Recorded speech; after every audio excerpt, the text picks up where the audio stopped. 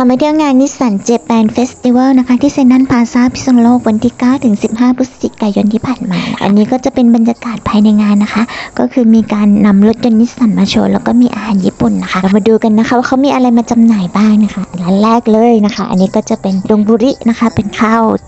ข้าวหน้าต่างๆนะคะนี่ก็จะเป็นส่วนใหญ่เป็นหน้าแซลมอนนะคะข้างนี้นะคะเหมือน ดังโงะนะคะ น่าจะใช่ดังโงะนะคะ แล้วก็อันนี้เป็นสตรอเบอรี่เชื่อมต่างๆนะคะ อันนี้ก็จะมี strawberry candy นะคะ ซึ่งเป็น